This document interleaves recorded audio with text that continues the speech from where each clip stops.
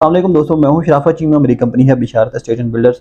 इस वक्त जैसा कि आपने सुना होगा कि पूरे लाहौर में, पूरे पाकिस्तान में इस वक्त लाहौर इंटरटेनमेंट सिटी का शोर है। हर तरफ़ ये, हर मीडिया हर एडवर्टीजमेंट पे लाहौर इंटरटेनमेंट सिटी की बात हो रही है। तो आज की वीडियो में हम डिस्कस करेंगे कि आया यहाँ पर इन्वेस्टमेंट करनी चाहिए, यहाँ पे प्लॉट बुक करवाना चाहिए या नहीं करवाना चाहिए। यहाँ पे बुक प्लॉट खरीदने के कौन से फ़ायदे हैं, कौन से नुकसान हैं, सारे आपके साथ डिस्कस किए जाएँगे। अगर ये वीडियो आप मुकम्मल सुन लेंगे, देख लेंगे तो आपको फैसला करना आसान हो जाएगा कि इस तरफ़ जाना चाहिए या नहीं जाना चाहिए। तो मजीद आगे बढ़ने से पहले मैं आपको बताता चलूँ नए लोगों के लिए कि लाहौर इंटरटेनमेंट सिटी बेसिकली है क्या। ये अल जलील डेवलपर्स ने एक नया हाउसिंग प्रोजेक्ट लॉन्च किया। इसकी जो लोकेशन है वो मेन जीटी रोड पे जो हमारा लाहौर इस्लामाबाद वाला जीटी रोड है। उस मेन जीटी रोड के ऊपर है। जैसे ही आप मरीद के क्रॉस करेंगे तो दो किलोमीटर के बाद लेफ़्ट साइड पे आपको लाहौर इंटरटेनमेंट सिटी की मेन मेगा एंट्रेंस मिल जाती है। जैसा कि इसके नाम से ज़ाहिर है कि एक मुनफरद किस्म की हाउसिंग सोसाइटी बनाई जा रही है और डेवलपर का क्लेम है कि इसमें हम हज़ारों तरह की इंटरटेनमेंट एक्टिविटीज़ आपको एक ही छत के तले प्रोवाइड करेंगे और उसके साथ साथ यहाँ पे आपको हाउसिंग फैसिलिटीज़ भी प्रोवाइड करेंगे। अब यहाँ पे उन्होंने शुरू के अंदर तीन मरला से लेके एक कनाल तक की प्लॉट कैटेगरीज इंट्रोड्यूस करवाई है और कम कीमत के अंदर इंट्रोड्यूस करवाई है। थोड़ा सा मैं आपको ये बता दूँ, फिर आगे चलते हैं इसके फ़ायदे नुकसान की तरफ़। तीन मरला का जो प्लॉट है इनिशियली इन्होंने चौदह लाख पचास हज़ार का लॉन्च किया दो लाख एडवांस पेमेंट है और बारह हज़ार पाँच सौ पर मंथ इंस्टॉलमेंट रखी गई है। पाँच मरले का प्लॉट इक्कीस लाख रुपए का और इसकी बुकिंग अमाउंट तीन लाख है और सत्रह पाँच सौ इसकी पर मंथ इंस्टॉलमेंट है। दस मरले का प्लॉट इन्होंने इनिशियली लॉन्च किया, चालीस लाख रुपए उसकी कॉस्ट ऑफ़ लैंड रखी है छः लाख उसकी एडवांस पेमेंट है और सैंतीस हज़ार पर मंथ इंस्टॉलमेंट है। इस तरह एक कनाल का जो प्लॉट है, उसकी पचहत्तर लाख कॉस्ट ऑफ़ लैंड रखी गई है। और उसकी एडवांस पेमेंट ग्यारह लाख रुपए है। इसके अलावा इसमें कुछ बलून पेमेंट्स भी आती हैं। पेमेंट प्लान आपकी स्क्रीन पे अटैच कर दिया मैंने। और इस सोसाइटी को उन्होंने मजीद तीन सेगमेंट्स में इन्होंने डिवाइड किया। 2000 एकड़ पे इनिशियली लॉन्च की गई है और इसमें 80 एकड़ पे ये थीम पार्क्स वगैरह बनाएँगे और 120 एकड़ पे यहाँ पे टाउन सेंटर और बिज़नेस सेंटर और आईटी सेंटर्स यहाँ पे इंशाल्लाह बनाए जाएँगे और 1800 एकड़ पे रिहायशी कॉलोनी बनाई जाएगी। अब आगे बात करते हैं इसके फ़ायदे और नुकसान के। जब भी किसी सोसाइटी में इन्वेस्टमेंट करते हैं, उसको परखने के कुछ पैरामीटर्स होते हैं, कि कुछ अवामल होते हैं जो उस पर असरअंदाज होते हैं, उन अवामल की वजह से वो सोसाइटी या तो अच्छा परफॉर्म करती है या बुरा परफॉर्म करती है। जैसी सोसाइटी की परफॉर्मेंस होगी, वैसी आपकी इन्वेस्टमेंट के रिजल्ट्स होंगे। इन अवामल को, इन फैक्टर्स को हम दो कैटेगरीज में मेन कैटेगरीज में डिवाइड करते हैं। कुछ बरूनी अवामल हैं, कुछ अंदरूनी अवामल हैं। हम सबसे पहले बरूनी जो फैक्टर्स हैं, उस पर डिस्कस करते हैं। बरूनी फैक्टर्स में कि वो किस तरह से इस पर असरअंदाज होंगे। बरूनी फैक्टर में सबसे पहले बात करेंगे हम लोकेशन की। जैसा कि आपको पता है कि ये सोसाइटी मेन जीटी रोड के ऊपर लॉन्च की गई है मरीदके से दो किलोमीटर आगे। अब इस वक्त जो ट्रेंड चल रहा है पूरे पाकिस्तान में, हर छोटी बड़ी सोसाइटी जीटी रोड के ऊपर मूव कर रही है।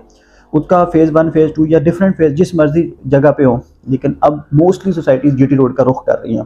जैसा कि आप लोग को पता है कि अलकबीर ऑर्चर्ड आ चुका है, अर्बन सिटी आ चुका है, लाहौर स्मार्ट सिटी आ चुका है।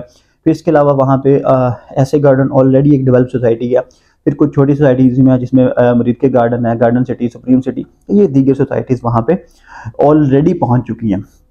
अब ये क्यों जा चुकी हैं? इस वक्त अगर आप लाहौर की सराउंडिंग की बात करें तो Multan road Raiwind road, Ferozepur road और किनाल रोड, ये मुकम्मल तौर पे पैक हो चुके हैं।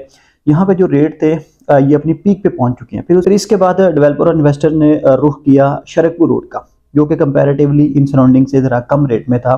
तो यहाँ पे मुख्त मुख्तु सोसाइटीज़ बनी जिसमें Rehman garden phase two phase seven शामिल है, अल जलील गार्डन है अलनूर ऑर्चर्ड वेस्ट मरीना फिर इसके अलावा शादमान और दीगर हाउसिंग सोसाइटीज़ यहाँ पर आ चुकी हैं। अब ये फिर आहिस्ता आहिस्ता इसके रेट जो है ना, वो ग्रो करना शुरू हो गया लेकिन इसमें आज से आप चार से पाँच साल बाद देखिएगा कि जो शरकपुर रोड है, ये भी अपनी पीक पे पहुँच चुका होगा और मेजर लोगों की ये एक्सेसिबिलिटी से दूर हो चुका होगा, क्योंकि इसके रेट बहुत ज़्यादा हाई हो चुके होंगे। अब इसके बाद जो अगला स्टेप आता है या अगला जो कम रेंज की चीज़ आती है, वो जीटी रोड पे आती है। आप शादरा से आगे कालाशाह काकू से आगे टूवर्ड्स गुजरा वाला आगे तक। मतलब इस सराउंडिंग में या इस रोड के ऊपर ज़मीनें भी कम रेट में हाउसिंग सोसाइटीज़ भी कम रेट में लॉन्च हो रही हैं। तो जब ये शरकपुर रोड पैक हो जाएगा तो उसके बाद फिर स्पीडीली उसकी ग्रोथ जो है ना, वो शुरू हो जाएगी। यानी इसको अगर हम टाइम फ्रेम में आपको बताएँ तो तकरीबन चार से दस साल के अरसे के अंदर जो जीटी रोड है, इसकी जो प्राइसेस है, वो फुल पीक पे पहुँच चुकी होंगी। यानी कि तकरीबन तीन से चार साल बाद वो उनका गेरा होना शुरू हो जाएँगी और दस साल तक तो वो मतलब अपने पीक पे पहुँच चुकी होंगी। तो अभी जो इनिशियली लोग यहाँ पे इन्वेस्टमेंट करेंगे, वो मुनासिब कीमत के अंदर करेंगे। लेकिन जैसे वो वक्त गुजारेंगे तो इंशाल्लाह उनकी इन्वेस्टमेंट डबल ट्रिपल होकर उनको रिटर्न करेगी। शर्त यह है कि आपने अच्छे हाउसिंग प्रोजेक्ट में इन्वेस्टमेंट करनी है, जिसकी डेवलपमेंट भी अच्छी हो, जिसकी चीज़ें भी डिलीवर हों। एक तो ब्रूनी फैक्टर ये है, जो इस पर डायरेक्टली असरअंदाज होगा। अब दूसरी बात भी लोकेशन से ही रिलेटेड है। जैसे मैंने आपको बताया कि ये मेन जीटी रोड के ऊपर इसका फ्रंट और मेन जीटी रोड के ऊपर इसका गेट है। तो जो अदर सोसाइटीज़ मैंने जिसका ज़िक्र आपके साथ किया उनमें चंद एक छोटी सोसाइटीज़ छोड़ के जो बड़ी सोसाइटीज़ हैं तो उनके जो मेन जीटी रोड है, उससे डायरेक्ट अप्रोच नहीं है। कोई दो किलोमीटर आ गया कोई तीन किलोमीटर आ गया कोई चार किलोमीटर आ गया तो बेशक वो डेवलपर सॉलिड है स्ट्रॉन्ग है उसमें प्रॉफिट्स भी लोगों को हो रहे होंगे, या हो रहे हैं इवन तो लेकिन ये मेन जीटी रोड के ऊपर है तो इसको कंपैरेटिवली एक एज हासिल है कि ये मेन के ऊपर इसकी एंट्रेंस है। कल को अगर आप यहाँ पर रिहाइश इख्तियार करते हैं तो आप अगर पब्लिक ट्रांसपोर्ट के थ्रू भी आते हैं तो आपका जो गेस्ट हैं या आपके बच्चे जो भी, वो पब्लिक ट्रांसपोर्ट से उतर के फॉरन सोसाइटी के अंदर दाखिल हो सकते हैं। या इवन आप रात के किसी भी पहर में आते हैं तो आप इजीली अपनी सोसाइटी के अंदर दाखिल हो सकते हैं। ये इसको एज हासिल है बाकी सोसाइटी से। अब बात करते हैं कुछ अंदरूनी फैक्टर्स की, अंदरूनी अवामल की। उसको हम मैं तकरीबन पाँच कैटेगरीज में डिवाइड करूँगा जो अंदरूनी फैक्टर है। सबसे पहले सोसाइटीज़ में हमने देखना होता है कि डेवलपर डेवलपर ये रिसोर्सफुल है जलील डेवलपर्स का जो प्रोजेक्ट है। इनके पास फाइनेंशियली ये स्ट्रॉन्ग है, इनके पास डेवलपिंग कैपेसिटी कैपेबिलिटी मौजूद है। फिर दूसरी चीज़ हमने देखनी होती है लैंड कि डेवलपर के पास जो इतनी वो क्लेम कर रहा है लैंड है कि नहीं, ये लैंड अलहमदिल्ला काफ़ी बड़ी तादाद के अंदर एक्वायर कर चुके हैं, ख़रीद चुके हैं और पोजेशन ले चुके हैं वहाँ पर फिर उसके बाद अगली चीज़ आती है कि डेवलपमेंट एक्सपीरियंस है कि नहीं है। तकरीबन 20 साल का, इनके पास एज अ डेवलपर 20 साल का एक्सपीरियंस है 20 साल का तजर्बा है सोसाइटी बनाने का सेल करने का। तो ये उस लिहाज से भी स्ट्रॉन्ग है।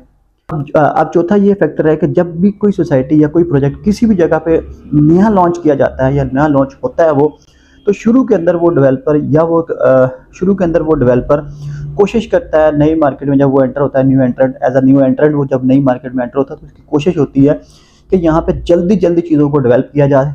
और कम रेट के अंदर अच्छी फैसिलिटीज़ और अच्छी चीज़ें दी जाएँ और थोड़े अरसे के अंदर डेवलप करके लोगों को हैंड ओवर कर दी जाए, ताकि उसकी जो वहाँ पे जो पेनिट्रेशन आसानी से हो सके और वो जगह बना सके उस नई मार्केट के अंदर।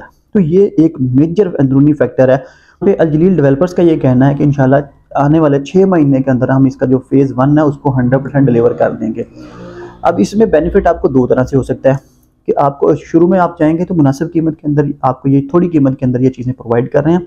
और शुरू का जो फ़ेज़ है, ये बहुत कम वक्त के अंदर ये डेवलप कर देंगे। तो आपको एक तो लोकेशन का कंपेरेटिव एज होगा कि आपका शुरू वाले फ़ेज़ के अंदर प्लॉट आएगा। दूसरा, आपको कम कीमत के अंदर वो प्लॉट मिल रहा है और जब वो डेवलप हो जाएगा, कम वक्त के अंदर ज़्यादा चीज़ें डेवलप हो जाएँगी तो उसमें जो वैल्यू एडिशन है, वो आपको मल्टीप्लाई होकर मिलेगी। यानी कि आप कम कीमत में चीज़ खरीद रहे हैं, जल्दी आपकी चीज़ डेवलप हो रही है तो आपका जो वैल्यू एडिशन है, वो बहुत जल्दी भी हो रहा है और ज़्यादा तादाद के अंदर भी हो रहा है। तो ये जो फैक्टर्स हैं, जो इसमें वैल्यू ऐड करते हैं तो इस वक्त अगर पाकिस्तान में मुनासिब कीमत के अंदर एक अच्छी चीज़ या अच्छी जगह पे इन्वेस्टमेंट आप करना चाहते हैं तो ये एक सूटेबल ऑप्शन आपके लिए हो सकती है। और दूसरे नंबर पे एक पांचवा जो इनका इंटरनल फैक्टर वो ये है कि एक यूनिक किस्म का ये कॉन्सेप्ट लेके आए हैं। आज तक पाकिस्तान में किसी ने इंटरटेनमेंट से रिलेटेड इस तरह की एक्टिविटी नहीं की। ये वहाँ पे थीम पार्क्स बना रहे हैं टाउन सेंटर्स बना रहे हैं बिज़नेस सेंटर्स बना रहे हैं। फ़िल्म स्टूडियोज फ़िल्म सिनेमाज के साथ साथ मिनी ऑन पार्क्स जो आईलैंड्स बेशुमार चीज़ें आपको एक ही जो है ना वो एक ही सोसाइटी एक ही कम्युनिटी के अंदर ये लोग प्रोवाइड कर रहे हैं और जो इनका डेवलपिंग स्टैंडर्ड है वो बहुत ज़्यादा हाई है। तो अब इसमें इस रिस्क एक ये है कि वो लोग जो लाहौर के अंदर रिहाइश रखते हैं या लाहौर सेंट्रल लाहौर से उनका बिज़नेस है या उनकी जॉब है या लाहौर की मतलब फिरोजपुर रोड वाली साइड पर या नहर वाली साइड पर तो उन लोगों के लिए अभी वहाँ पे रिहाइश रखना मुनासिब नहीं होगा, उनके लिए थोड़ा सा दूर होगा। लेकिन जो जीटी रोड की सराउंडिंग में लोग हैं, कलाशा काकू से आगे टेल गुजना वाला इसकी सराउंडिंग में जितने भी छोटे गाँव, कस्बे हैं, उनके लिए ये अपने होमलैंड के करीब एक अच्छी रिहायशी सहूलत के तौर पर यह सोसाइटी देखी जा सकती है।